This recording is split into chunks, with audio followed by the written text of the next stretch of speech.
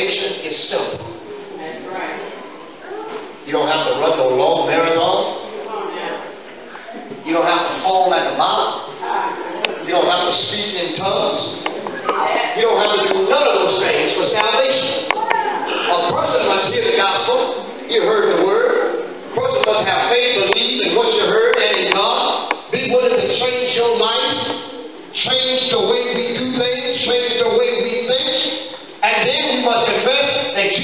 Jesus is the Son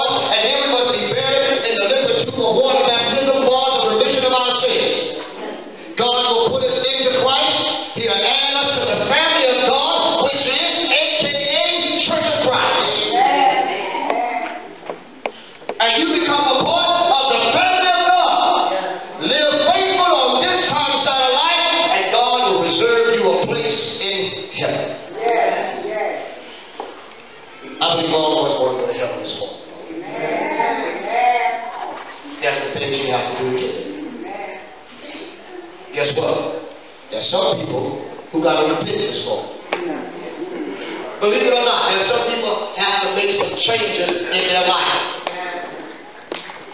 All of us have to get rid of some things in our lives. Is that right?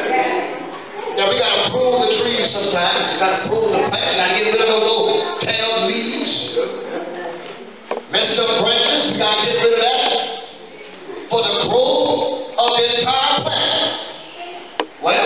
spiritually, we gotta cut some things off and out from our lives.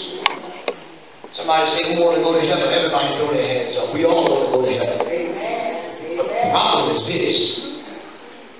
Will you do what is required to go to heaven? Just by saying, I want to go to heaven, I want to go to heaven, I want to go to heaven, won't get you there. You have to do what is required.